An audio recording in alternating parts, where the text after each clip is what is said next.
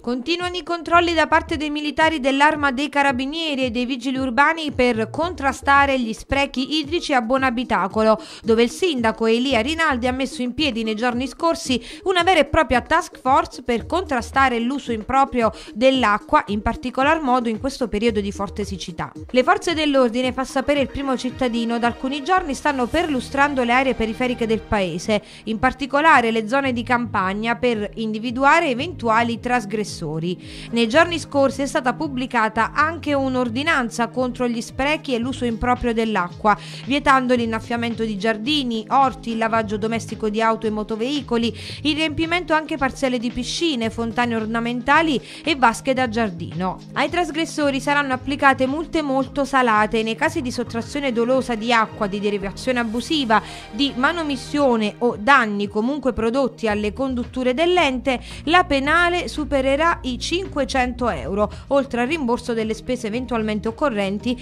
per la riparazione del danno, le conseguenze civili e penali. Una misura, spiega Elia Rinaldi, resasi necessaria a causa della precarietà che il servizio di fornitura subisce durante il periodo estivo, causando notevoli disagi ai cittadini e ai turisti.